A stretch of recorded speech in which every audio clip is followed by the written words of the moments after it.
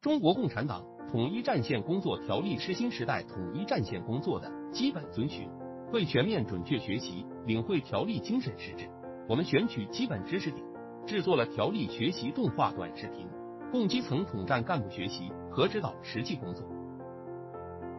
中国共产党统一战线工作条例，海外统一战线工作和侨务工作篇。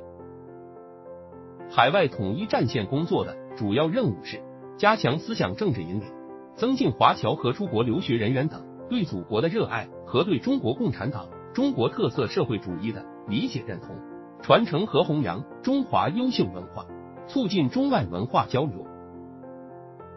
鼓励华侨参与我国改革开放和社会主义现代化建设，融入民族复兴伟业，遏制台独等分裂势力，维护国家核心利益，发挥促进中外友好的桥梁纽带作用，营造良好国际环境。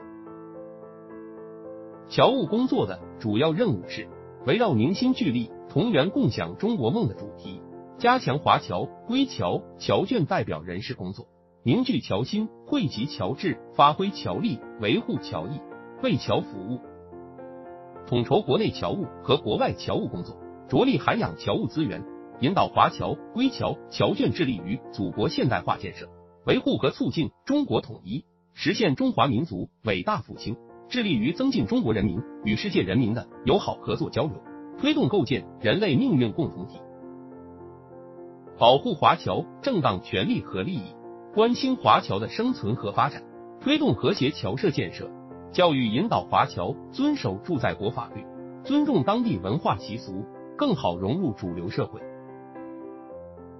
为驻在国经济社会发展贡献智慧和力量，充分展现守法诚信。举止文明、关爱社会、团结和谐的大国侨民形象，保护归侨侨眷合法权利和利益，适当照顾归侨侨眷特点，积极发挥他们与海外联系广泛的优势作用。